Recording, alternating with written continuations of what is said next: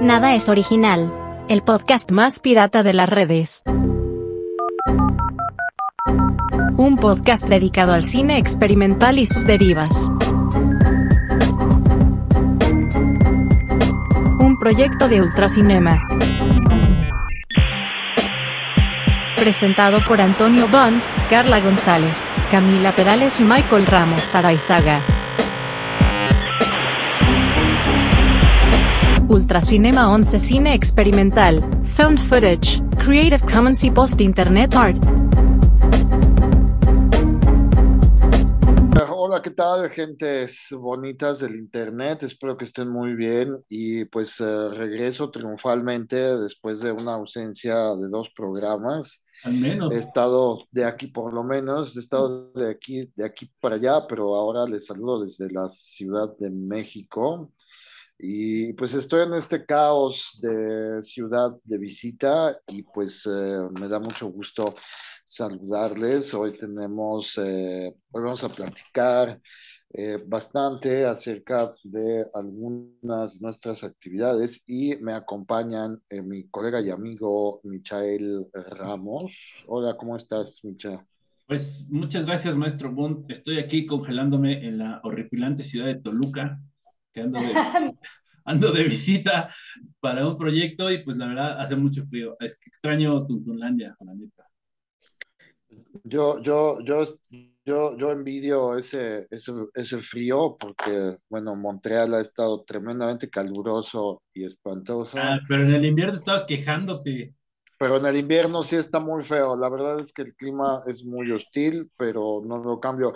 Y por supuesto también está hoy acompañándonos eh, Milagro. otra de nuestras colaboradoras, nuestra querida Carla. Carla, ¿cómo estás? ¿Qué onda? Pues sí, igual, muchas gracias y pues este, bienvenidos a una nueva emisión de este podcast. Y pues qué chido, Bunt, que por fin te conectas. Sí, qué pues valor es el que, mío. es, es que he andado, he andado viajando, pero ya estoy, ya estoy aquí y pues bueno, con mucho gusto de, de poder colaborar. Yeah. Maravilloso. ¿Cómo, cómo estuvo, cómo está tu palacete? ¿Cómo encontraste tu palacete de la condesa? Pues mira, todo el personal lo ha cuidado muy bien, los jardines están perfectamente podados. y- La diosa Yerbita, ¿qué tal? No, ella está, pero pues en el, en el trono. Y, y, pues bueno, las caballerizas también están este, bastante bien. El, el caballo Azuquita, que es mi, mi campeón, pues está, está bonito y está, está muy bien. Entonces, no me, no me, no me, este, ¿No te decepcionaron tus no me sirvientes? decepcionaron. Entonces está, está bastante, bastante bien el día de hoy. Este, pues, pues bien, has- hemos estado, hemos estado, pues, paseando en los jardines, este, buntescos, entonces, pues bien, bastante- Ok, ok. Muy bien, pues, pues estábamos esperando a la, nuestra heroína, la directora de la gira Ultracinema, pero desafortunadamente, pues, le salió un pendiente y no nos va a poder acompañar en esta emisión que, como cada inicio de mes, pues la idea es contar un poquito de las actividades de la, de la gira de, Ultracinema en este mes, que como saben, esta edición del podcast a partir de ya hace un mes, justo, está dedicada pues a contarles un poco sobre las actividades. Hemos entrevistado personajes involucrados tanto de espacios, eh, de espacios de, de exhibición, de, de colectivos, de, de sitios donde la gira est- estuvo o estará, y pues por supuesto también cineastas involucrados, ¿no? Entonces, bueno, como no, no va a estar, nos dejó instrucciones precisas de que les contemos de, pues, de qué va a ir un poco la gira, ¿no? No, no, este, no está nada cerrado, que afortunadamente, pues, es, es, es una gira abierta y, y maravillosa que ha resultado hasta ahorita.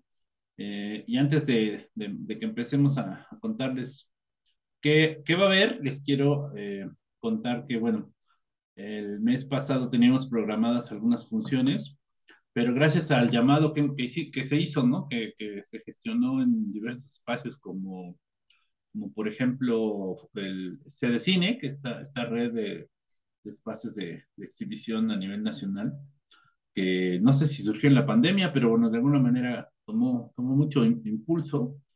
A raíz de la pandemia se tejieron redes ahí interesantes. Entonces, un poquito el, llamado que se hizo por ahí, la invitación, pues surgieron eh, unas funciones en Tlaxcala que, que han estado siendo un éxito. Y, bueno, a fin de, del mes pasado de agosto se presentaron en, en Tlaxcala nuestra selección maravillosa de cine experimental mexicano, también la, la película Las cámaras que nos vigilan. Eh, incluso tuvimos en, en, el pasado 26 de agosto una función en Monterrey, en el barrio del Carmen, en Nuevo León. También la, la, gira de, de, niños que está, que está maravillosa. Y, y, bueno, pues ustedes que ya la vieron, y ya se la saben, ¿cómo la, cómo la ven? ¿Creen que a los chamacos les pueda eh, llamar la atención algún día hacerse cineastas experimentales? Yo creo que un poco se hizo con esa idea, ¿no? Que por ahí se les bote la, la panica, se les tuerzan los resortes y digan, creo que por ahí, por ahí podemos entrarle al cine.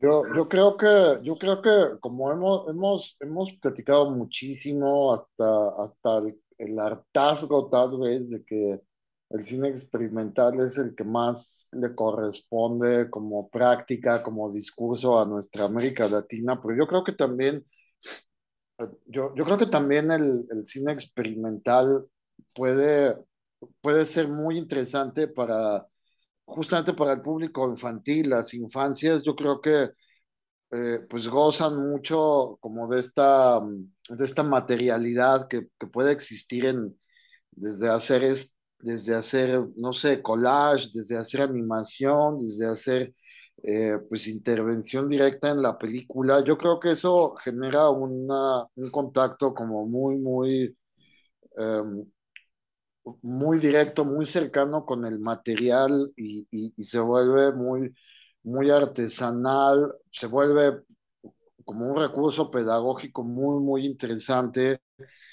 Y he, citado el caso específico de, de, mi amigo Johnny González en, en, Costa Rica que lleva el cine a las regiones como más apartadas de las grandes ciudades en, en, en aquel país de, de Centroamérica y, y, constantemente hablamos y retomamos y hablamos justamente de la cuestión pedagógica que puede tener el cine como una manera de, de, generar pues justamente una, una cultura y me parece que es bien interesante eh, cómo, cómo, cómo, los niños pueden percibir el cine de manera diferente. Y aparte, pues también están los juguetes ópticos, ¿no? Que es la, pues la, la base misma, la, la, esencia misma de la imagen en movimiento.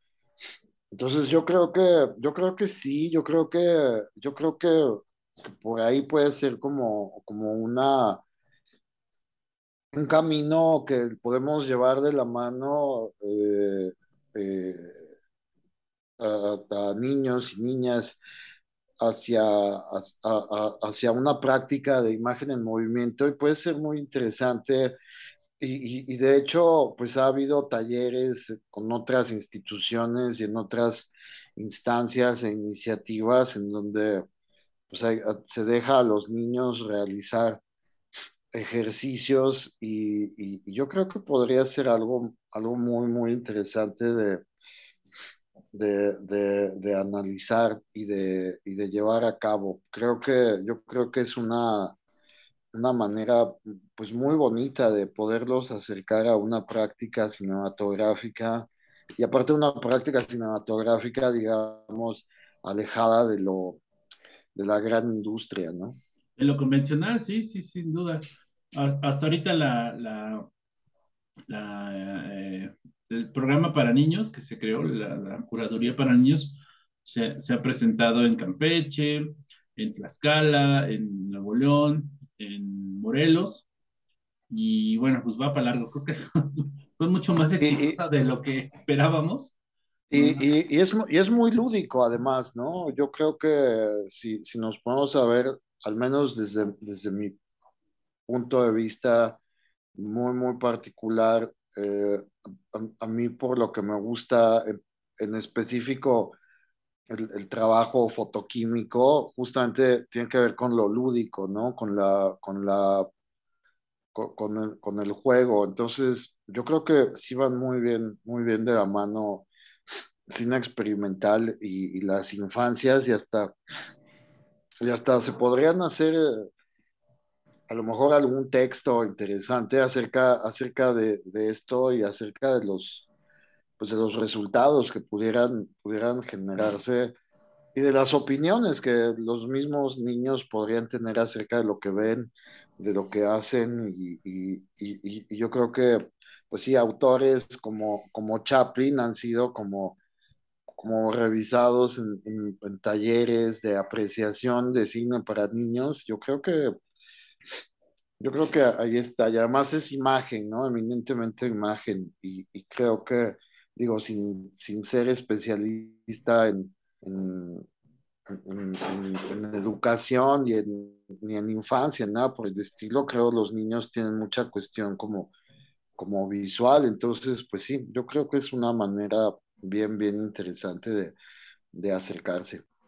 Sí, y fíjate, digo, ya Carla nos contará, no sé si, si Carla has tenido experiencia de, de, trabajar con niños, pero digamos ultracinema, pues tradicionalmente los talleres pues no están enfocados, ¿no? Aunque hemos dado talleres para, para, para chamacos, pero ha sido una revelación, la verdad, muy interesante y la respuesta de las, de las sedes en donde se ha mostrado ha sido muy positiva. Este, pero sí, como dices, sería bueno eh, plantearnos la posibilidad de, de, hacerlo más seguido y ver, ver, ver, estas reacciones, ¿no? Porque sí, yo, yo estoy convencido que esto nos va a llevar a, a, que de, algún, de, alguno de estos lugares saldrá el siguiente Antonio Bunt o el siguiente Antonio Arango, ¿no? El siguiente Bruno Varela. Pero bueno, Carla, tú que tienes experiencia trabajando con mozalbetes, ¿cómo ves? Sí tengo experiencia. no sé, digo. no, pues de hecho, en realidad tengo muy poca porque me parece que es bien difícil trabajar con niños, la verdad. Este, pero sí, alguna vez tratamos de hacer unos cursos para unos niños, unos cursos de arte visual y audiovisual. Con, con unas compañeras tratamos de hacer eso.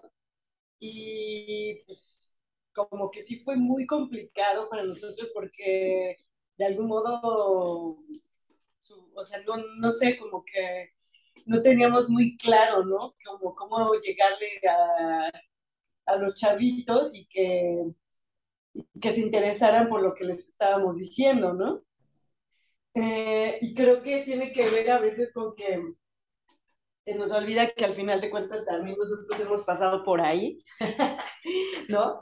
Y, y hemos sido niños o niñas y este, y que pues de todo, o sea, pues sí, como que terminamos subestimando así de, ay, no, sí, luego, luego les va a gustar esto, o así, no es cierto, ¿no? No, no les interesa de inicio, así. Tiene mucho que ver también con el contexto social y con este rollo del, pues del fast food, fast track, fast everything, ¿no? Y que pues la banda también chica a veces ya viene muy viciada de eso, ¿no? Tan o al revés, ¿no, Carla? De repente tú puedes decir, ah, yo creo que esto no les va a llamar la atención, yo creo que esto no lo van a entender, y te, tienes un prejuicio, pero realmente te, te, sorprende.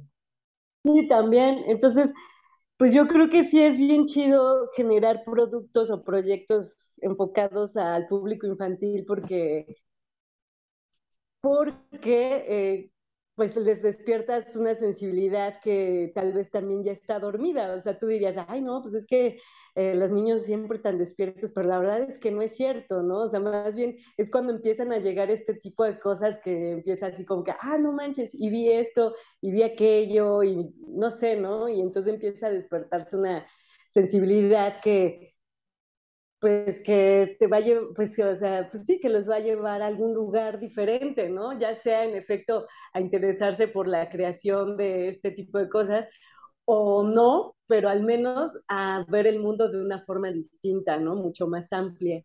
Y creo que está muy chido, o sea, creo que el público infantil también eh, es generoso en ese sentido porque te, te, enseña también mucho a ti mismo, ¿no? De ti, ¿no? De tu propia vida y demás, ¿no? Y de hasta la forma en cómo haces las cosas, ¿no? Entonces, creo que sí está muy chido llevar cine experimental al público infantil, aunque pudiera parecer así de no manches, pero pues también hay chavitos que se viajan muy chido, ¿no? Y que dicen cosas que igual el propio creador del corto o la peli, lo que sea, se queda así de neta. no me imaginé que te llevara a pensar esto o aquello, ¿no? Yo creo que, que, es un ejercicio muy bueno y que pues va a tener mucho éxito, o sea, a la larga va a estar prosperando cada vez más. Pues sí, esto sí nos, nos, plantea, nos plantea retos, bueno, nos planteó retos desde el principio del, del proyecto y pues cuando estábamos pensando, ¿qué les ponemos? ¿Qué les ponemos? Pero bueno, pues ha sido, ha, ha sido interesante el viaje y pues hasta ahorita les decía, has, uh, uh, incluso nos lo han pedido, ¿no? Nos lo han pedido de otros lugares y, y pues ha sido bien recibido. Por lo pronto, eh, pues tenemos que contarles que este programa del que estamos hablando, pues es la selección de cine experimental mexicano para las infancias, se presentará el próximo domingo 4 en una localidad de Tlaxcala que se llama Zacatelco, acompañado también de un largometraje experimental que se llama Las cámaras que nos vigilan, de nuestro querido amigo Nicolás Bax.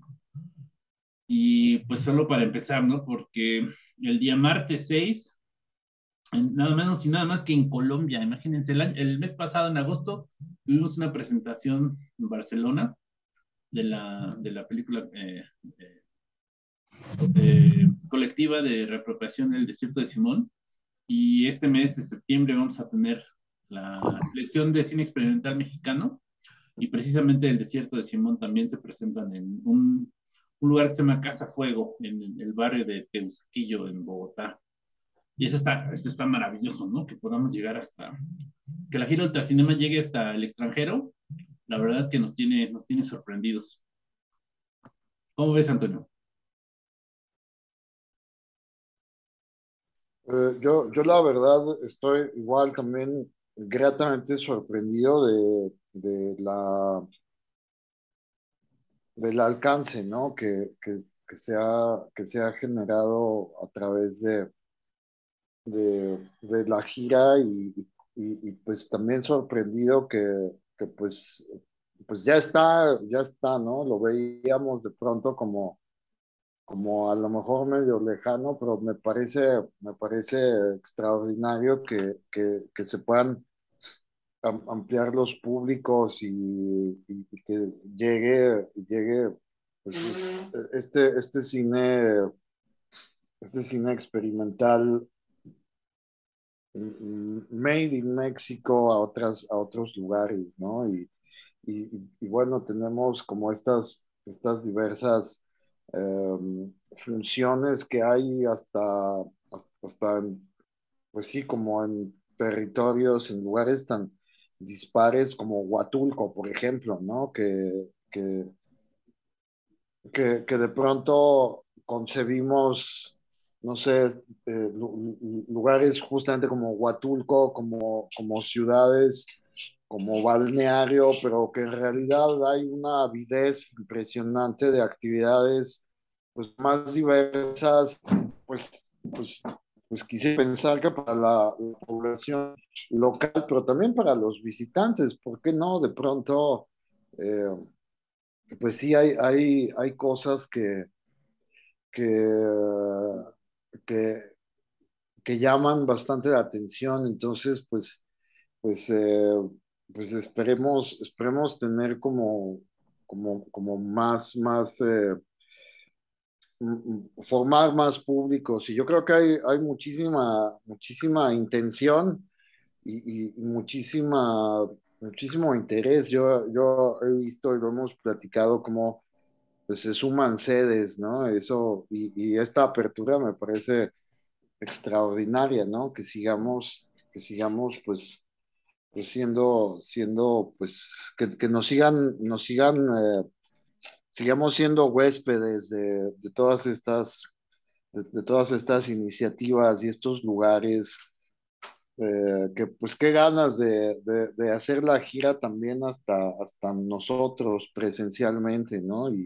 Sí, pues estaría... Y pues una, unas arepas colombianas no estaría nada mal en, en Colombia. Estaría fantástico. Lo, lo, lo, que me parece también, la verdad es que es, hemos platicado, digamos, acá en el, en el, en el, eh, en el núcleo de, de, de la gira del festival también eh, pues es que nos han llegado solicitudes, ¿no? Precisamente este colega colombiano no, fue, nos escribió, oigan, pues es que me, me, interesa mucho, yo quiero ser, quiero ser parte y déjenme buscar un espacio. Las chicas de Tlaxcala, eh, que, que, justo son como espacios de, de, ya, o sea, está, está, está, padrísimo porque son espacios de, de, en resistencia total, ¿no? Son casas de cultura, son eh, colectivos que se arman, eh, sus, sus, sus, sus cineclubes en, en donde se puede, ¿no? Estuvimos en un, en, en Tlaxcala, en un espacio que se llama eh, Centro Cultural, eh, Espacio Cultural Polinizadora, que está dentro de una pulquería, como que desde ahí están eh, acompañados de un pulquito, además hacen estos espacios no solo son de proyección, muchos de estos llevan, acompañan la reflexión, en, en, Tlaxcala estuvo la gira en un lugar que se llama San Pedro Muñoztla, en la casa comunitaria.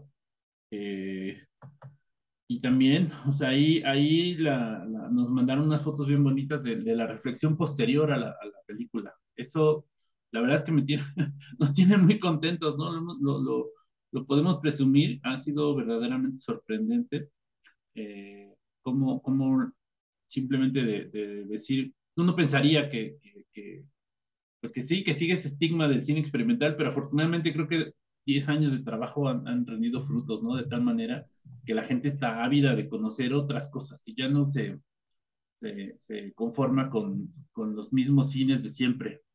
Y, y, y, ah, perdón, perdón. No, dime, dime, dime. No, ya, ya, y además yo, yo creo que, no sé si soy yo, no sé si es mi, mi, mi mi natural amargura, pero, pero, también, pero también siento que, que, que, que últimamente, digamos, este cine convencional ha caído, ha, ha, caído en una crisis, ¿no? También yo creo que, que este interés, pues no sé si renovado o, o nuevo interés, no sé, la verdad, si, si, se ha renovado realmente el cine, el interés en el cine experimental o en estas prácticas alternativas, eh, en estos, pues no me gusta decirlo, en estos otros cines, por eso lo pongo entre comillas.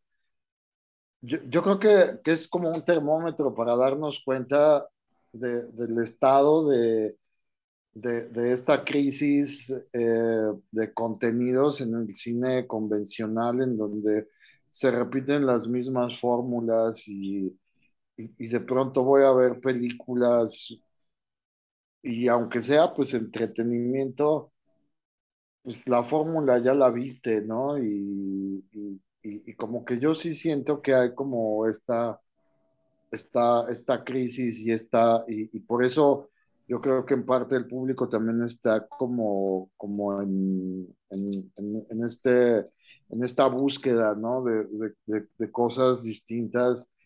Y, y, y, ya nos platicaban hace unas semanas Freddy y Carla cómo, cómo llega la gente al, al, al, um, a, su cineclub móvil y y, y, le interesa y está como muy, muy, muy clavada la gente en, en ver otras cosas o, o, a lo mejor ver, revisar al, algunas, algunas películas que ya se han visto pero con ojos nuevos, con ojos frescos. Y yo creo que eso es como muy interesante dentro de este cine también de las infancias, ¿no? Que, que, que, que, no están los ojos del, del, de los pequeños, no están como, como con esta predisposición y el prejuicio de, de, de, ver algo que no me va a gustar, es que no le voy a entender, sino que pues yo creo que volviendo a, a lo que platicábamos al inicio, yo creo que yo, yo creo que es, es, una, es una muy buena edad para, para, para exponer a, a, a, las infancias a este tipo de cine. Claro, a lo mejor no vamos a ver algunas cosas de, de Brackach o, o, o de Michael Snow, porque sí está como de pronto bien denso, ¿no?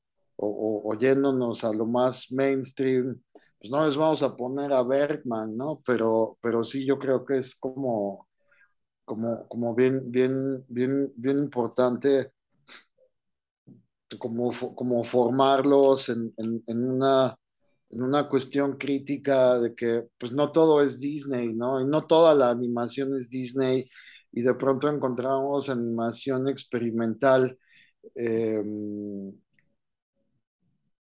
o técnicas de animación más, más artesanales y pues bueno, platicamos hace ya varias semanas con Noyuli y Jonard sobre, sobre el trabajo de, de su papá. Y, y, yo creo que, que también es, es, un ejemplo de también cómo, cómo involucrar a los niños en, en la producción. Y, y, la animación yo creo que pues es algo que llama siempre la atención. No sé si nos vamos a, a, a Norman McLaren, ¿no? Que es como el casi, caso más clásico de distintas técnicas de animación que pueden generar como, como interés en, en, en, el cine, ¿no? Pues sí, pues sí. Eh, la verdad es que estamos, estamos verdaderamente sorprendidos y, y, muy, muy contentos. Ya que mencionabas Huatulco, por ejemplo, ahí este colectivo Tilcuatle, eh, pues igual no, nos buscó y ellos tienen un, un cineclub todos los miércoles y, pues bueno, durante septiembre vamos a estar compartiéndoles cosas de la gira, que bueno, por si no lo, no lo saben, no, no, no ha quedado claro, la, la, idea de la gira Ultracinema es precisamente que, que, les compartamos en estos espacios cine mexicano, ¿no? Al principio teníamos nuestras dudas, de hecho el año pasado nos quedamos con las ganas de, de participar en el apoyo del Focine, porque pues así como que, bueno, ¿y qué, qué cine mexicano, no? Y entonces empezamos a rascarle y la verdad es que hay muchísimo. A lo largo de estos 10 años de, del festival, eh, hemos visto como la producción misma, no solo la, la, en, en, el mundo, sino en México en particular, de eso creo que nos podemos sentir orgullosos, que el festival ha contribuido de alguna manera a que la producción de cine experimental crezca a tal grado que pues ya ahora nos podemos permitir compartirlo. Y bueno, es una, lo, lo que, lo que está, lo que forma parte de la gira es un, es solo la punta del iceberg, ¿no? La verdad es que hay, hay muchísimo, muchísimo que, que, que podríamos haber incluido, pero bueno, pues por lo pronto estos colegas del, del colectivo Tilcuatle en Huatulco van a exhibir la selección de cine experimental mexicano, que bueno, pues ya es nuestra, nuestra punta de lanza, pero también les vamos a compartir la, la película Ocho canciones en náhuatl, que justo el podcast pasado tuvimos invitados a, a, pues a dos de sus, de sus creadores, ¿no? Dos de esta, los creadores de esta experiencia audiovisual musical en, en náhuatl. También les vamos a compartir una selección de cine experimental mexicano de, de, de otros años, de, de, la que programamos en el 2020, que justo como la pandemia nos impidió eh, que la gira tuviera much, muchas más paradas de las que me decía, pues bueno, eh, eh, aprovechamos para, para incluirla y nuestros colegas de, de Huatulca la, la van a exhibir y finalmente cerrarán el, el mes con ya se me perdieron, ah, con eh, las cámaras que nos vigilan, ¿no? De, ya, ya decíamos esta, este especie de documental experimental de, del buen Nicolás. Y bueno, eh, también la gira Ultracinema tendrá paradas, además de Huatulco, en Tlaxcala, esta, este colectivo de, de chicas que eh, eh, se, se, sumó, ¿no? Se sumó a la, a la eh, a la gira, con, programando en distintas comunidades, que eso también es otra de las cosas que tenemos que mencionar. Ellas trabajan sobre todo en comunidades indígenas, comunidades campesinas, y están trabajando para promover eh, su cineclub itinerante. Y también nunca, yo la verdad, honestamente, no me hubiera imaginado que pudiéramos compartir cine experimental en estos espacios, porque simplemente pues no son, no es que, no es que sean nuestros temas, es también un poco la, la cerrazón y la, la, la capacidad o incapacidad del, del, del, proyecto, como que no está tan encaminado hacia esos públicos. Y esta gira nos ha, nos ha permitido poder acceder a ellos. Y la respuesta también ha sido increíble, ¿no? Estuvimos, tenemos, vamos a, yo creo que vamos a invitar, por supuesto, tenemos que invitar a, a, a Lupe Maíz para que nos cuente esta experiencia porque ha sido increíble. Nos han, nos han contado poquito, pues porque digo, apenas empezamos a colaborar con, con, con ellas un par de fechas, pero sí, creo que será bueno oírlas de, de primera mano. digo, además, eh, antes de que se me olvide, este, este programa de hoy tendrá, tendrá, dos partes. La primera, pues, estaba, está dedicada justo a esto, ¿no? A contarles un poquito la, la eh, el, plan de, de, la gira para septiembre. En la segunda parte tendremos a Carlos Rodríguez del Cine Morelos, que nos va a contar los planes que tenemos para, para colaborar con este maravilloso recinto allá en Cuernavaca. Y, y, bueno, aunque tenemos un plan ya preestablecido, ¿no? Que, que hicimos al principio de, de, la gira de quienes entrevistar, pues insisto, han, han estado surgiendo opciones y, y, yo creo que ahí en el plan lo, lo incluiremos a, a estas chicas del, del, colectivo. Pero Carla, ¿cómo ves esta cuestión de poder, de poder incluso mostrar cine experimental en, en estas comunidades que no estaban en nuestro radar, ¿no? Eso está, a mí me parece fantástico. No sé, ¿tú cómo lo ves? Pues yo creo que está genial y en efecto abre los ojos a, a, pensar justo en eso, ¿no? En, ah, mira, aquí también se puede y darte cuenta que en realidad hay un público mucho más extenso del que se creía, ¿no? Yo creo que está súper chido porque eh, pienso que a los pueblos originarios a veces no se les toma en cuenta en este tipo de cosas, ¿no? O sea, sobre todo, ay, no, pues sí, sí son cosas que tienen que ver con la tradición, o conocer la tradición, o conocer la artesanía, o la forma de, o la visión, la cosmovisión, ¿no? Que pues es muy chida también.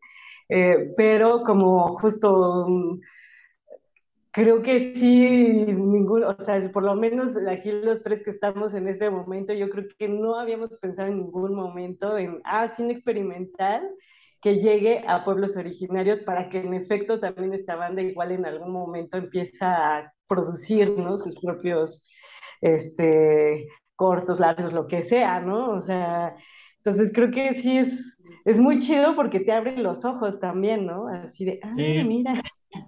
Sí, sí, sí, totalmente, nos ha quitado un velo, ¿no? O sea, justo lo que hablábamos un poco de, de, de repente de, pues no son nuestros terrenos, ¿no? Simplemente, no, no, no, no, no son terrenos que solemos pisar, como, como, con los niños, y a lo mejor eso, pues también nos tiene eh, un mucho con ese velo, ¿no? De bueno, es que no, no, no, no nos imaginamos que podamos compartirlo por allá, porque no, ¿para qué nos metemos en líos?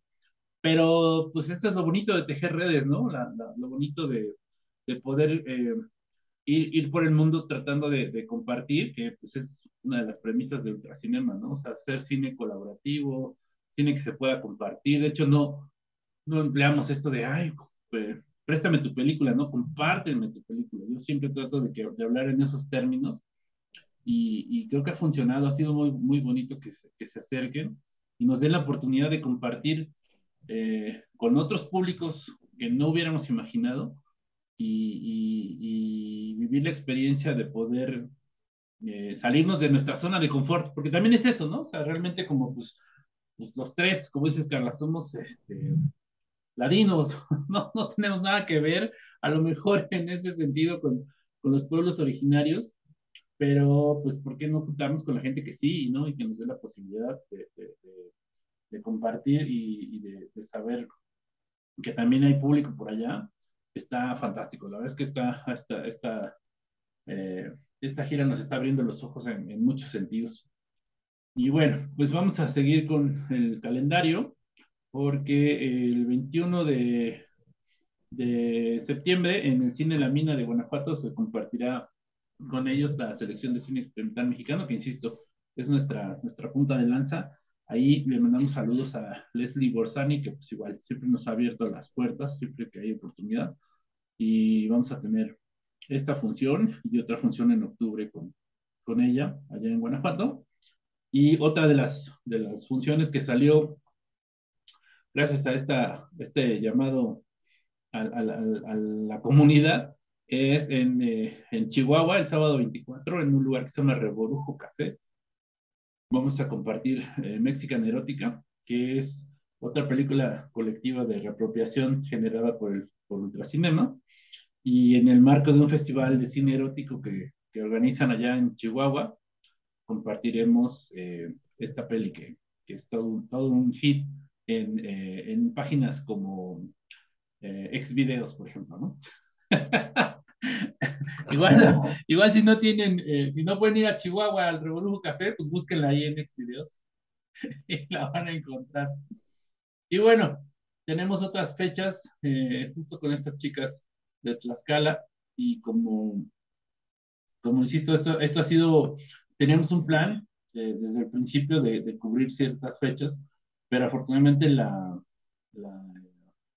la, respuesta del público pues, ha sido, de, la gente de los espacios, ha sido muy, muy interesante, muy, incluso a veces siento que, me, que, que, pues, que nos sobrepasa, que nos hacen falta manos para poder coordinar todo, pero bueno, pues hay otras, otras funciones que se están, se están construyendo, que se están eh, terminando de, afinar pero, pero bueno, este mes de septiembre viene, viene todavía más cargado de funciones. Eh, de entrada, pues bueno, haciendo un recuento, pues es Colombia, Oaxaca, Tlaxcala, Guanajuato, Chihuahua, Veracruz y lo que más lo que se acumule, ¿no? Estamos, y bueno, entre esas, pues, o sea, son públicos de ciudad, públicos de, del campo, públicos de, de, pueblitos, de, no sé, incluso internacionales, lo cual pues nos, nos, nos llena de gozo y, y pues esperemos que, que, se sigan teniendo paradas de la gira para, para poder seguir compartiendo el, el, cine experimental mexicano. Y pues bueno, no sé, maestro Bunto, ¿cómo ve?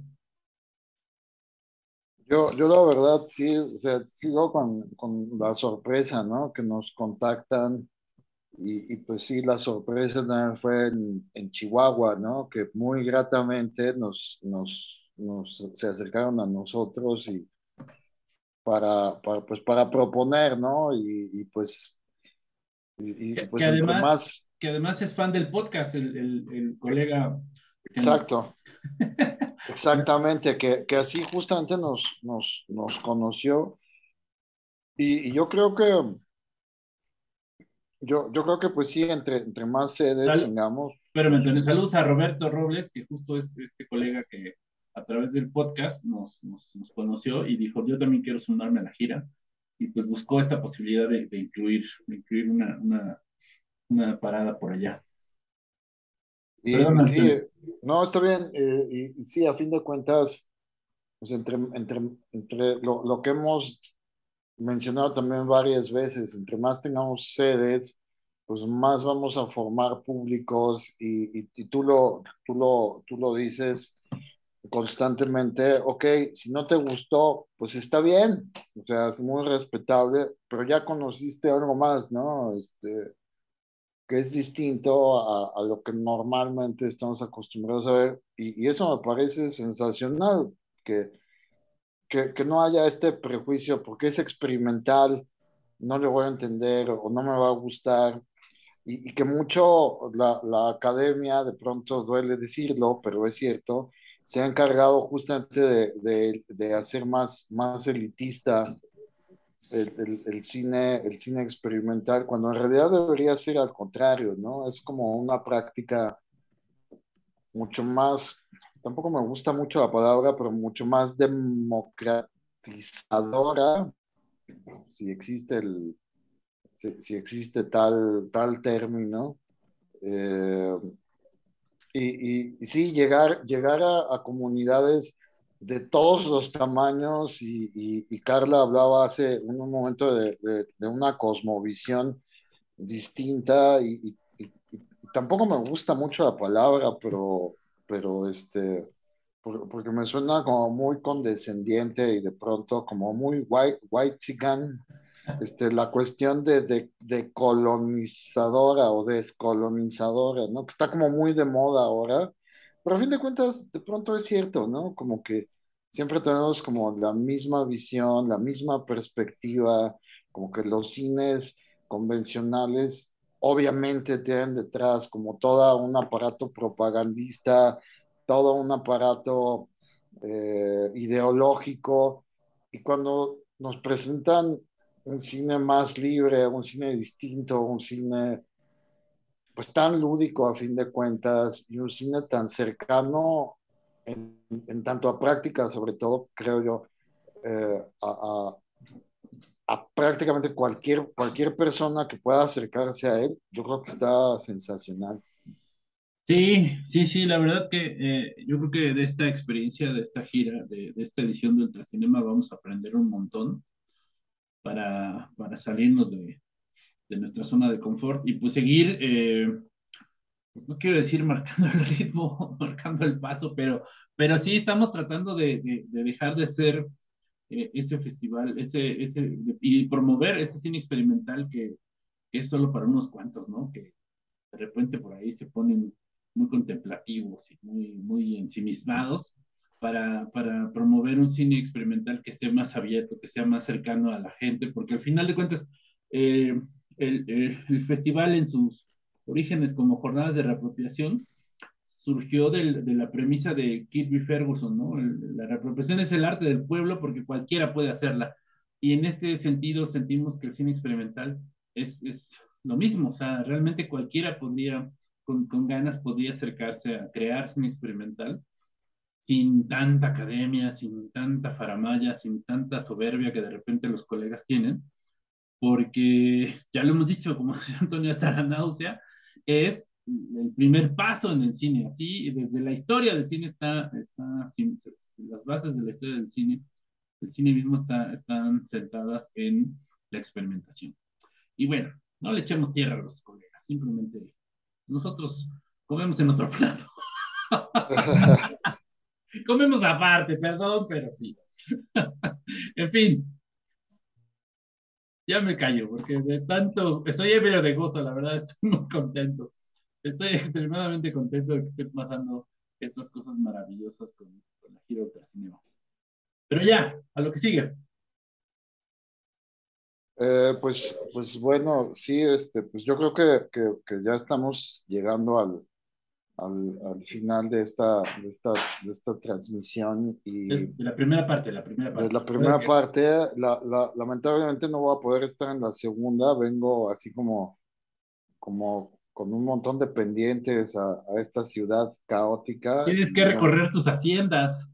Tengo, tengo que recorrer, este, pues sí, el, el, el tu reino. El feudo, el feudo, entonces el feudo y, y, pues, Tienes, pues, tienes, que hacer inventario de cuántos restaurantes más uh, se agandallaron la calle ahí en la Condesa. No, es que si te pones a hacer el, el, el recuento, el inventario, pues no, no acabas, porque sí, me sorprendió que hay un montón que se, se, se agandallaron, ¿no? Entonces, pero bueno, pues finalmente víctimas de la gentrificación de, de las ciudades, ¿no? Eh, y, pues bueno, finalmente no, no voy a estar en, en la próxima, en la, en la, siguiente parte, pero pues bueno, yo creo que los dejo muy bien acompañados a quienes nos, nos, nos, eh, nos escuchen.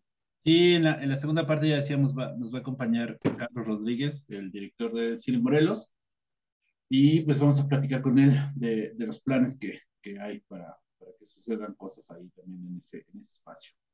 Y bueno, pues Carlita, tu reflexión final de esta parte. Pues que se siguen sumando más espacios. Eh, Ahí pues todavía quedan algunos, o sea, yo sí estoy contenta de que al parecer en mi ciudad natal, querida, ah. pasando muy frío, este, se arme esta muestra de la, de la gira, porque, o sea, me emociona pues que Ultracinema llegue allá, ¿no? Y, y que, o sea, y que pues se vean esas creaciones experimentales que ahorita, bueno, hay más público, ¿no? Más abierto. Siempre ha habido público abierto, pero no ha habido mucha oferta, esa es la verdad, ¿no? Entonces, y entonces por fortuna ahorita, este, pues igual eso también a mí me emociona y ojalá pues también no solo se sume Toluca, sino se sumen mucho más ciudades, mucho más pueblos, mucho más lugares a, a esta gira.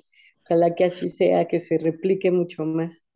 Sí, y déjame, déjame te cuento, Carla, que hoy, hoy precisamente que estamos grabando el podcast, eh, anduve por allá en, la Cineteca Mexiquense, que es, que es, maravillosa, está súper bonita. Vi una película ahí y lo disfruté muchísimo. Entonces, seguro la, la, la, la, la Cinema va a lucir maravillosa. Entonces, bueno, ahí tú estás fungiendo como embajada. ¿Perdón? A mí me emociona mucho que una sede que, o sea, yo eh, al parecer es segura esta sede, ¿no? Porque nada más están haciendo unos ajustes, pero me emociona que se muestren las piezas ahí, ¿no? O sea, sí. eso. Sí, sin duda, sin duda.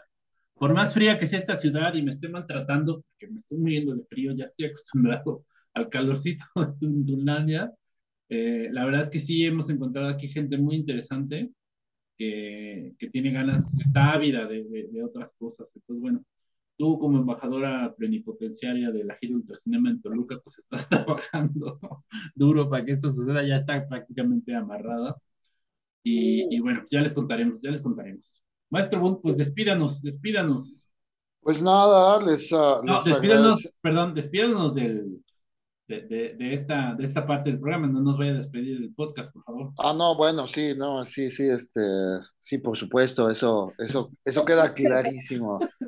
Este, no, porque si no hay que pagar finiquitos y, y pues bueno, este, con, esos finiquitos se pueden hacer este, viajes uh, alrededor del mundo, entonces, pues, no, sí, sí es una, sí es una gran inversión. Y bueno, no, pues, espérame, Antonio, antes de que, de que despidas, porque si no se me va a olvidar que este podcast fue a nombre de nuestra directora Daniela Garrido, que pues por causas de fuerza mayor no, no nos pudo contar ella de viva voz. Pero bueno, pues anda, anda trabajando en, este circo de tres pistas que es la vida y pues bueno. Y también eh, a nombre de Camila Perales, que pues está como buena estudiante, eh, ya era muy tarde ahora el podcast, lo grabamos muy tarde, entonces se tuvo que ir a dormir temprano, pero le mandamos un saludo a las dos. Ya, ya me cayó. Pues, pues nada, eh, agradecemos mucho a quienes nos escuchan, nos apoyan em, y, pues que, que finalmente eh, pues estén pendientes, ¿no? De, de, de la gira estén pendientes de las sedes, porque la verdad yo creo que siempre vamos a tener como, como, como una sede, una sede, pues, pues ahora parece cliché, pero, pero seguramente habrá una sede cerca de ustedes y hasta en su país de origen, ¿no? De pronto, pues tenemos, pues está lo, lo que mencionabas en Barcelona, en Bogotá, tenemos sorpresas en distintas ciudades alrededor del mundo, no solo aquí en México, y, y, pues, pues estén muy pendientes de, de, todas las actividades que vamos a tener, eh, no solo de la gira, sino pues también de la futura edición del festival, que ya hablaremos en su momento, ya cuando se acerquen las fechas, pero, pero pues es una, una gira que, que hemos estado trabajando, que hemos estado preparando y, y nos entusiasma mucho poder, poder eh, llegar a tantos públicos. Entonces, estén pendientes, compartan obviamente también eh, las actividades y, pues nos veremos en, la, próxima, la próxima edición. Buenísimo, pues gracias Antonio. Y, continuamos después de esta breve pausa en la segunda parte. Y pues bueno, sí, nos... para, otra cosa que me acabo de acordar, antes de irnos ya para despedir esta primera parte, para el momento en, que, en que este podcast haya salido, ya conoceremos la selección oficial de la edición 11, ¿no? Como bien decía Antonio, está a la vuelta de la esquina y pues tendremos muchas más cosas que contar. Entonces, regresamos después de este corte con nuestro querido Carlos Rodríguez, que nos va a contar cosas maravillosas también. Regresamos.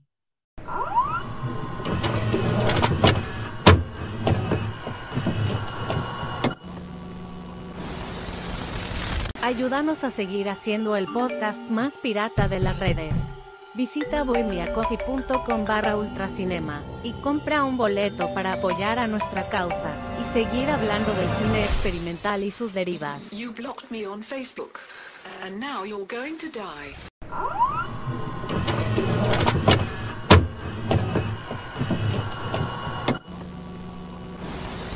Bienvenidos sean todos los que nos escuchan en este su podcast favorito, Nada es Original, el podcast más pirata de las redes que, como ya saben, eh, aquí pues tratamos de hablar particularmente de cine experimental, pero bueno, en esta edición Gira Ultracinema pues estamos ampliando nuestros horizontes.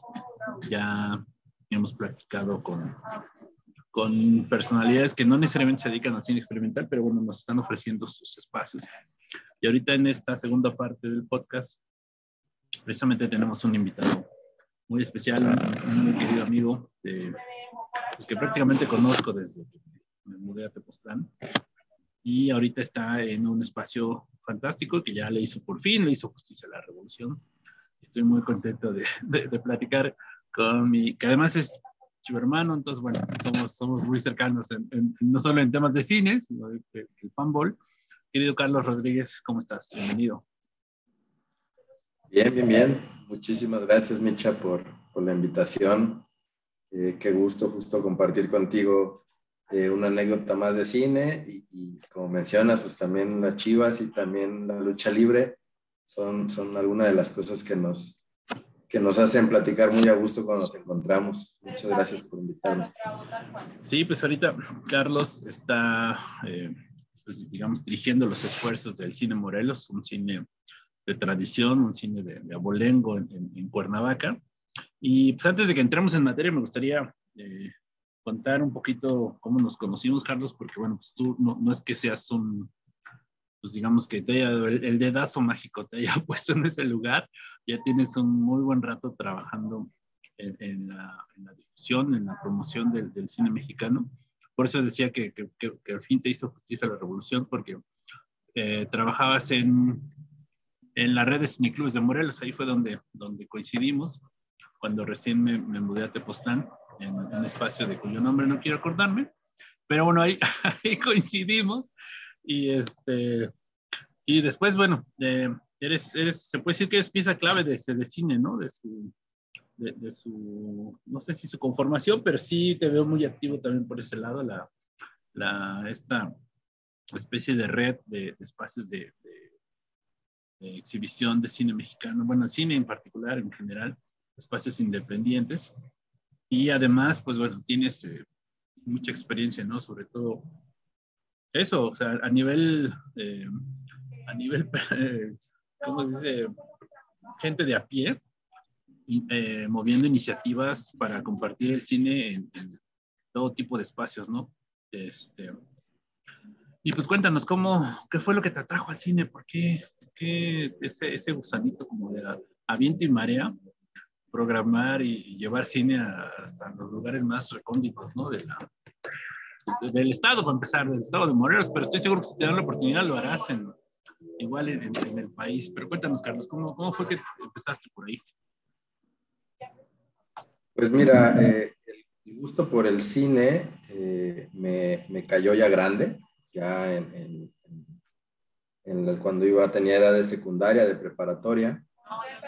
Tengo un tío que es, mi segundo padre, que se llama Bernardo Aguilar Flores, que es un político y que su oficio de toda la vida fue ser cácaro, ser proyeccionista, tanto de cines comerciales como, en el, pues, estuvo en el cine Morelos. ¿no?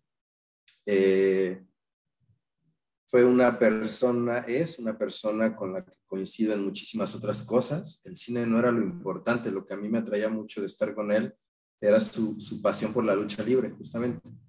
Entonces, para mí, para mis primos y mis primas, era, era muy divertido estar con mi tío porque hacíamos de todo, jugábamos, nos llevaba al cine, jugábamos luchitas, nos platicaba de muchísimas cosas, era muy apasionado de la música también. Y bueno, era ahí un, gusto por compartir mi tiempo con él y, él era cácaro del cine Morelos. Entonces yo mis tardes de secundaria y de prepa, eh, saliendo de, la escuela, me venía al cine Morelos a estar con él un rato. Eh, entonces, pues mi vida desde pequeño ha, estado en el cine Morelos, en las cabinas, en las salas. Entonces, por ende, aprendí a proyectar desde, desde morro, ¿no? Aprendí a proyectar en 35 milímetros, me enseñó a, a pegar las películas, ¿no? A, a, despegarlas para su entrega de regreso, a exhibir, este, también eh, me enseñó a proyectar, se me quemaron por ahí algunos cachitos de rollo por descuido, vaya, me enseñó el oficio y eso me gustó muchísimo. Pero a él también le gustaba la producción, le gustaba eh, el guion, le gustaba la realización y por, por accidente en el Cine Morelos daba el CCC algunos cursos de producción y él, y él los tomaba. Entonces también me hablaba mucho sobre producción. Eh, él hacía sus cortitos, me los enseñaba y los vemos. Yo lo que quería estudiar en ese entonces era periodismo. Me siempre me ha gustado la política, me ha gustado lo social. Yo hacía caricatura política en ese entonces, de, cuando iba a la prepa, en la secundaria. Y esa era mi tirada. Entonces, en, la búsqueda de, la licenciatura en periodismo, encontré artes visuales en la UAM. Y el cine, pues me llamó la atención por lo que mi tío me contaba y porque sabía que por ahí podía encontrar, encontrar y contar historias eh, y que no precisamente tenían que ser una cuestión tan, tan de la praxis del periodismo, ¿no? Y me gustó. Y ahí fue que, eh, se me metió la idea de, de hacer cine y eh, a la par que entré a la universidad, justo mi primer trabajo formal, mi primer empleo formal fue aquí en el Cine Morelos de, anfitrión, de boletero. Y pues de ahí se me pegó el gusanito de la exhibición. Yo no, lo, yo no lo veía así en ese entonces. Eh, yo, yo era cácaro, pero desde ahí me salió el gusanito de la exhibición. Eh, luego logré ser cácaro de la sala Gabriel Figueroa. Luego salí del cine Morelos y, me fui a echar a andar gracias a la invitación de Miguel Ángel Mendoza y de Ricardo del Conde, un proyecto hermoso que sigue rodando, que es Ecocinema México. Es un proyecto internacional, pero eh, bueno, su versión mexicana. Y justo sí, anduve por, anduvimos por, por toda la República llevando cine a, comunidades, a ciudades, eh, a barrios, callejones, muchísimos lugares y después regresé a coordinar la red de cineclubes, co-coordinar la red de cineclubes comunitarios del Estado. Y bueno, ahora que me toca estar en el Cine Morelos, entonces pues sí, más o menos tengo ya unos, que serán unos 10 años eh, dándole la exhibición a la promoción del cine mexicano. Qué interesante, esa, esa no me la sabía, que había sido hasta cácaro ahí y boletero. O sea, regresa, regresaste al redil y, y, y de la mejor forma porque creo que es un muy buen espacio, ¿no? Eh, digo, en, general en México siempre, eh, hasta nosotros como festivales tenemos siempre la problemática de llevar la gente a las salas, ante el embate de, pues, de, otras cosas, ¿no? Antes eran los DVDs piratas, ahora son los, las, múltiples, que ya hay 50 mil eh, canales de streaming, ¿no? Y que la gente, pues, ahora con la pandemia, pues también se dio un, un boom de todas esas cosas y, imagino que no es, no es, no, es, cosa fácil, no es tarea sencilla que buscar que la gente regrese a las, salas, que lo haga pues, con la convicción. Digo, la verdad, seamos honestos, por más que tengamos a la mano todo tipo de artilugios para ver cine en nuestra, en nuestra computadora, en nuestro teléfono, la experiencia cinematográfica se tiene que vivir en una sala. Perdón, pero así es. El cine se ve mejor en el cine, ya lo decía ese viejo eslogan del mundo de Videocentro y este, que hablando, ahorita llegaremos a hablar de lo del VHS, pero bueno, era un programa que me, encantaba porque pues, eran los avances de las películas que podías rentar en, un videocentro. Pero bueno, el caso es que es, es todo un reto, ¿no? En general, la, la, exhibición, ya no digamos en, en, en, el cine Morelos, ¿no? En general, tú que has tenido toda esta experiencia, eh, es, es, evidentemente es un reto, ¿no? Programar si sea una película en, un barrio, en una calle, en una plaza pública, como en un, cine, ¿no? ¿Cómo, cómo has eh, enfrentado este reto tú en, tu trayectoria, Carlos? Pues es, es sí, es, es, es un problema muy, muy complejo porque También depende en el proyecto en el que estés. Eh, ahora yo, estando en el cine Morelo, no solo compites con, con, las salas de cine comerciales, sino justo como dices, con las plataformas digitales también, ¿no?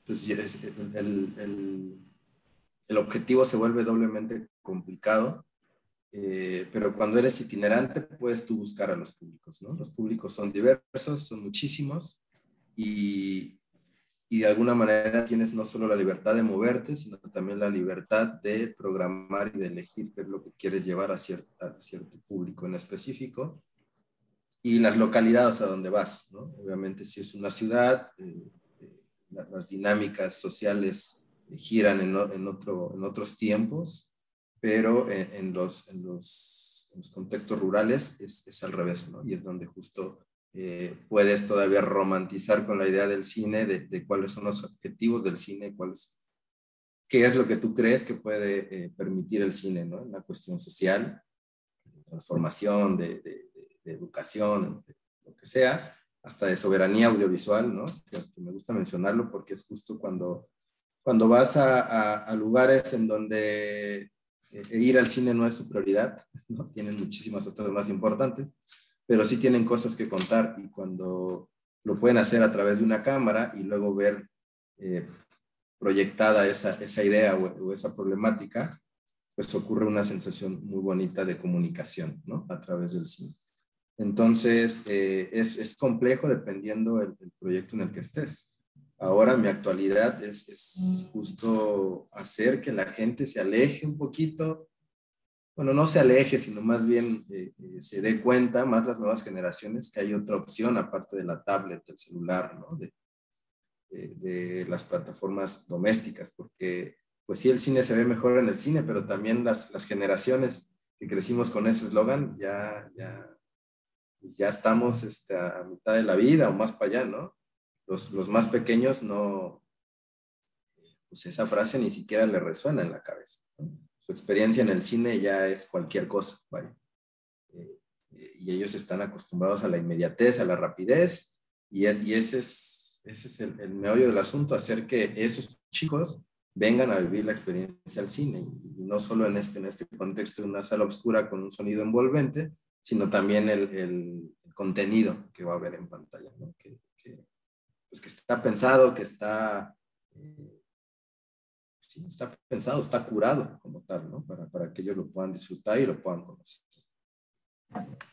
Sí, sin duda, y, y te imaginarás para un proyecto como Ultracinema, que, que promueve un tipo de cine pues, todavía menos común, ¿no? Que, que, no, no, sé, documentales o ficciones, pues sí, es, es, es complicado. Pero pues nos da mucho gusto que, que, que ahora sí que en esta, en esta faceta de tu vida, pues nos hayas abierto la puerta, ¿no? De entrada tuvimos ya, uh, para efectos de este podcast, ya, ya sucedió el Día Mundial del VHS.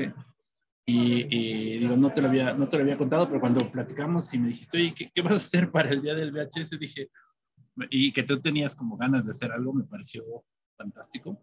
Creo que necesitamos mucha más, muchas más personas como tú con esa apertura en estos espacios, porque sí, y, y, eh, evidentemente son, eh, como decías, o sea, de repente si le, si le pones esta tecnología que pareciera obsoleta a las nuevas generaciones, pues nunca sabes qué, qué duda puede sembrar en sus, en sus, en, sus, cerebros y que quieran indagar más, ¿no? que es un poco lo que, lo que hemos venido haciendo nosotros, tratando de, de poner, ahora la, la gira Ultracinema nos da esa, esa posibilidad de poner cine experimental donde nunca nos hubiéramos imaginado y por ahí despertar el, el, el gusanito, ¿no?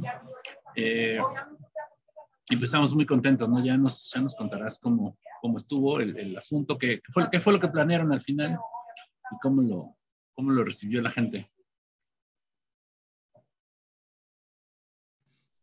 Pues bien, muy bien. La verdad es que yo ya tenía tiempo que quería eh, colaborar con la gira de Ultracinema. Obviamente yo cuando estaba en la red de cineclubes pues los públicos son distintos, ¿no? Yo, tenía otros objetivos, mi público tenía también los propios, ¿no? Que ya habían, eh, ya se había creado una dinámica con, con el cineclubismo en distintos, distintos sitios y me era complejo llevar una programación eh, de cine experimental. ¿no? Entonces yo tenía esa, esa espinita clavada.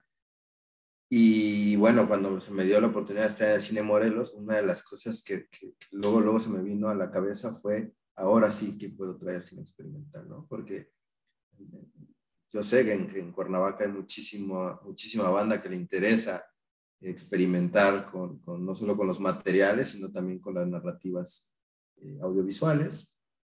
Entonces dije, sí, creo que tenemos que empezar, aunque sé que, que ya había habido eh, oportunidad de traer la programación aquí al Cine Morelos, pero yo no quería, una, no quería dejar de hacerlo, no quería dejar de, de colaborar, y otra quería justo darles oportunidad al Día Mundial del VHS, ¿no? Que lo traía ahí muy, muy claro, porque tengo ahí cierta nostalgia también por, por el cassette, por, por la cinta, por, porque me tocó pues de morro ir todavía a los videocentros, me tocó que mi padre me, me, diera a elegir qué película quería, bueno, justo por eso, porque yo tengo reproductor de VHS, tengo todavía televisor, tengo VHS, tal cual, lo quería hacer, y nos fue muy bien, eh, en, redes sociales obviamente las cosas luego fluyen exageradamente bien, y, a la hora de, del evento, pues, pues, es como el contraste, ¿no? Pero eh, lo curioso y lo natural creo que, que al ser pues, el cine Morelos, una sala de cine convencional, la gente creía que iba a ser una proyección. No, no, se esperaba justo llegar, uno, que el evento fuera en el lobby, aunque sí lo mencionamos, y que donde fuéramos a disfrutar la película fuese un televisor. ¿no? Para mí era importante hacerlo así porque pues, obviamente la, la, naturaleza del VHS era ir directo a los televisores. Es completamente casera. ¿no? Totalmente, ¿no? Ese era el objetivo de la aparición del VHS, de llevar el cine a, los, a las televisiones. Y creamos ahí, digo, hubiese querido tener más tiempo para, para que la instalación este, fuese más atractiva, pero creo que, que, quedó muy bien ahí la mesa con el productor, con el televisor y amontonamos ahí algunos cassettes de otras películas que teníamos. Y, y la gente llegó, o sea, digo, al ser en el lobby también la dinámica ocurre distinta, ¿no? La gente no se queda totalmente a ver la película completa, entra, va, sale, eh, se asoma un rato, se va, llegan otros, pero lo interesante fue que no se lo esperaban que llamaba mucho la atención y que todos preguntaban por qué, por qué estaba ahí eso. Y pues es, es, es, es el Día Mundial del VHS y hay que festejarlo y este es el programa. Estas son las películas y eso, unos decidían quedarse, otros decidían venir a la siguiente función y otros solamente se, sonreían de una manera eh, eh, nostálgica para las generaciones más, más grandes y, los más jóvenes pues impresionados y la foto, el Instagram, la historia, pues fue una, una dinámica interesante, bonita que espero ampliar y dedicarle más tiempo para el próximo año. Qué maravilla, Carlos. Sí, pues hay que pensar, por ejemplo, en el día eh, internacional del cine casero, ¿no? También tendríamos que pensar en, en hacer algo, porque estoy seguro que eh, justo en Cuernavaca, o sea, si tú lo, lo platicas con, con, la gente que está dedicada al cine casero en México, creo que de los lugares más filmados en Super 8 debe ser Cuernavaca. Entonces, por ahí seguramente habrá también materiales que todavía no salen a la luz. Y este tipo de iniciativas como que, que pretendemos con el Día del VHS y el Día del Cine Casero, pues es eso, que la gente se acerque. Quizá para el próximo año lo, lo podemos planear con más calma y, y, convencer a la gente que lleve sus cassettes en VHS y, y, y, digitalizárselos ahí. Eso sí es un poco más, más, eh, sí, implica pues una logística, pero no veo por qué no podamos ir como haciendo crecer el proyecto para que la gente de repente siempre tiene estos cassettes, siempre tiene estas películas y no necesariamente tiene luego la posibilidad de volverlos a ver, ¿no? Como, como por la propia tecnología, la propia evolución, porque no, no han valorado, como dices tú, las nuevas generaciones pues no tienen ni idea de, de, que en esa cinta había, había magia, ¿no? Toda la magia que tú y yo perfectamente entendemos. Entonces, bueno, pues ahí, ahora sí que hay que eh, eh, aprovechar ese gran escaparate que es el cine Morelos, que, pues, insisto, tiene una tradición increíble y pues seguir, seguir planeando cosas. La verdad es que sí nos, nos hace muy felices. Yo tenía también ganas de, de, de, poder hacer más cosas y pues ya teniéndote ahí de infiltrado, está, está fantástico, porque además, justo cuando platicaba con Carlos de pues, qué más hacer para la gira, llegamos a la, a la, a la, al acuerdo de que, bueno, aunque va a haber fechas en, en otros lugares, ya como saben, Ultracinema pues eh, abrazó por completo la itinerancia. Este año no está dedicado a, un, a, a, una ciudad, no va a ser en una ciudad como, como venía siendo, pues porque por cuestiones logísticas y sobre todo cuestiones económicas, pues no es, no es, no es tan viable como, como quisiéramos. Entonces nos vamos a, a dividir y vencerás, dice el dicho. Nosotros nos vamos a dividir. Va a haber muchas, muchas funciones en distintas partes de, de la República, pero nuestra inauguración, nuestra gran inauguración va a ser ahí en el Cine Morelos, Tapando Cine. Muy contentos porque pues es de casa, ¿no? Básicamente Ultracinema es un, un, festival que surge en el estado de Morelos, que, que se crea, que se, que se concibe en el estado de Morelos y, y, y pues la, la cuestión de, de, de hacer un, un, magno evento en el, en el cine, pues viene, viene ya casi casi siendo como lógica. ¿Cómo, cómo percibes? Ya nos contabas que pues, tenías este interés porque justo ahí has detectado que hay gente que está interesada en, bueno, que te valga la redundancia, tú tienes interés de hacer cosas de, de, de, con, con, proyectos experimentales porque has visto. Pero ¿cómo ves a la, a la banda? ¿Sí, sí eh, están como ávidos de, otras narrativas? Que incluso tienes la sensación ¿no? de, las proyecciones en la calle. Eh, ¿Qué te piden la gente? O sea, estando ahí en, en, en, el, en el, cine, eh, ¿cómo ves esta cuestión de, poderles ofrecer pues, películas poco convencionales como, como hace Ultracinema?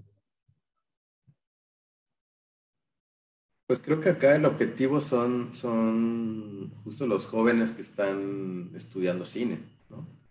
Eh, porque así como ya hay públicos que son amantes del cine y que están abiertos a ver eh, alternativas, ¿no? En narrativa y, y, y, en formato, pero no precisamente son realizadores producen, ¿no? son, son, es público, es, es, espectador. Eh, a, a mí lo que me interesa es ir acercando a las escuelas de cine también en, en, en Morelos, Cuernavaca, cada vez hay más. O sea, mínimo hay cinco o seis escuelas de cine eh, o eh, universidades que tienen la licenciatura o, un, o, una materia específica en cine. Es importante que, que, los chicos y las chicas vengan y justo creo que aprovechar eh, que también han cambiado los, los, los, las salidas de exhibición y de proyección, ¿no? que ahora desde tu celular puedes crear algo y, en lo inmediato puedes treparlo a, YouTube o a cualquier plataforma, eh, que ellos conozcan y encuentren otra forma de hacer cine, pues les ayude también a la hora de la creación, ¿no? Que entonces eh, no solo sea lo nostálgico lo que nos lleve a, hacer este tipo de cosas, sino también eh, lo práctico, ¿no? Lo, actual y lo práctico. Y que también en, en este, en esta, en este eh, la, la, los profesores o los maestros que, que, que les puedan dar clases, eh, pues también que se actualicen, ¿no? que, que, vean que hay otras formas de ser, que aunque sean viejas, pues que las narrativas siguen vigentes, ¿no? Y las posibilidades siguen vigentes y que, pues que, le, le den, que oferten esta posibilidad a, a, a, sus chicos. A mí me preocupa mucho que por más jóvenes que sean las generaciones, siguen como muy encasillados en, en las vacas sagradas de, del cine, del cine de culto. Y, si estás estudiando cine, o sea, tienes que actualizarte, porque si en algún momento quieres competir, eh, pues, tu, competencia ya no se llama Kubrick, ya no se llama Scorsese, ya no, ¿no? Tu, competencia es otra y sus formas en las que están trabajando y siendo exitosos son otras, y, tú lo tienes ya todo a la mano. Pues. Entonces me interesa mucho acercar eh, a los más jóvenes eh, y, con esta idea de, de tener eh, el festival acá pronto, pues hacerle llegar la invitación, si es posible, de, de manera personal y presencial en cada uno de, de, los espacios que se dedican a formar cineastas o productores o lo que sea, eh, pues, pues, traerlos casi casi de excursión, ¿no? Para que puedan este, conocer este material. Sí, porque fíjate que eh, Morelos tiene tiene una tradición ahí como de resistencia, de lucha, acá con, con la idea de, de, de, de, Zapata, aquí mismo en Tepoztlán, ¿no? es un pueblo guerrero, como que sí hay una inquietud grande por, por, no quedarse callado. Y en términos audiovisuales yo tuve la suerte de poder coordinar el, eh, el polo virtual, porque no, no se pudo hacer en vivo, fue virtual, que el último que se organizó aquí en Morelos. Y la verdad es que descubrí que sí hay un montón de gente con mucho talento, con muchas ganas de contar. Y de repente pues solo les falta un poco encauzarse, ¿no? Ahí en ese, en ese es otro proyecto del IMCINE, el Polos, que creo que ya desapareció, pero bueno, lo, nos tocó la experiencia muy, muy bonita de, de, de, pues de esta gente que está, que insisto, está ávida de contar historias.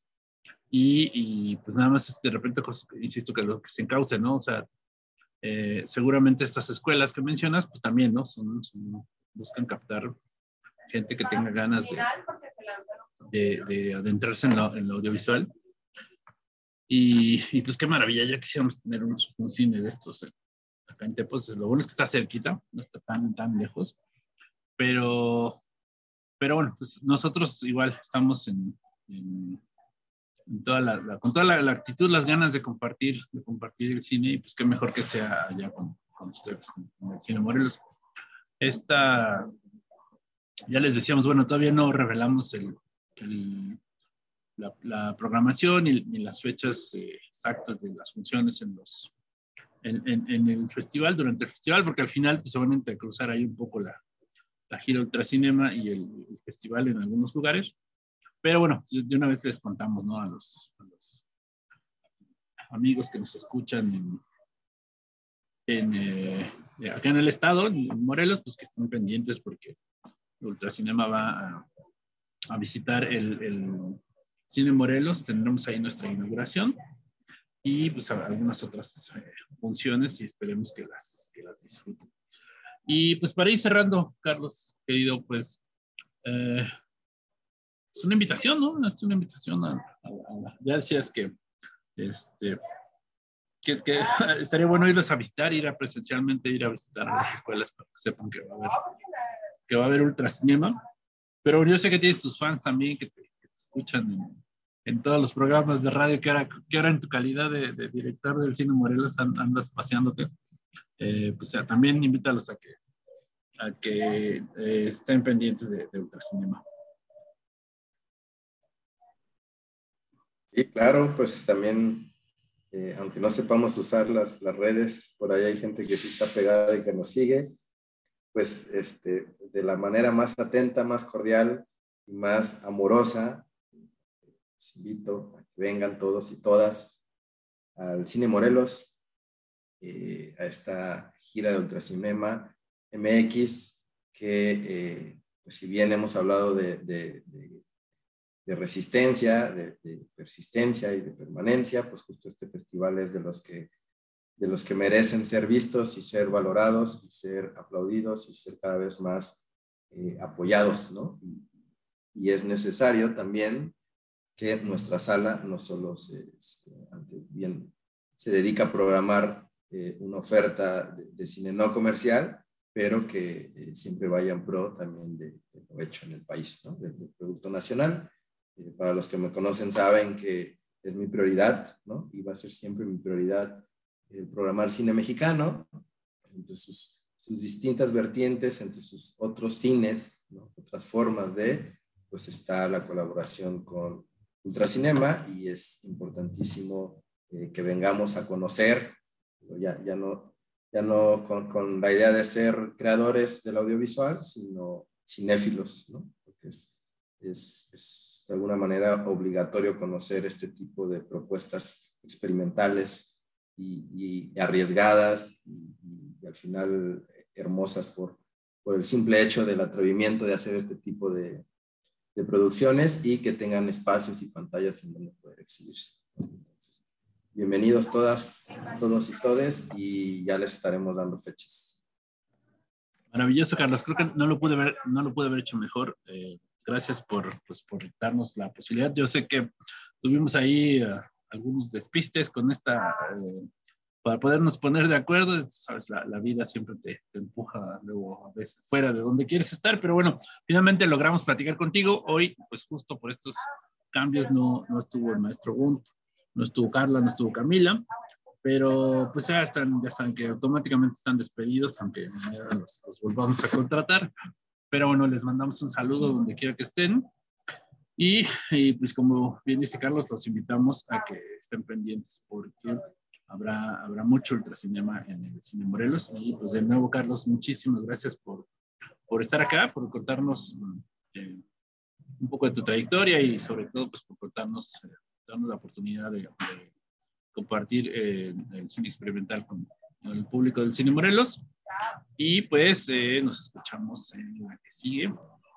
Estén pendientes porque vamos a seguir con, con invitados especiales en esta, eh, esta edición especial del podcast que, como les decíamos, está dedicada completamente a la gira Ultracinema, que es posible gracias a eh, el cobijo maravilloso que finalmente nos tocó un cachito de cobija del cine a través del Focine, el proyecto de eh, creación de públicos y bueno, estamos poniendo nuestro granito de arena para, para inundar de cine experimental el país. Buenísimo, pues nos escuchamos y nos vemos en la que sigue.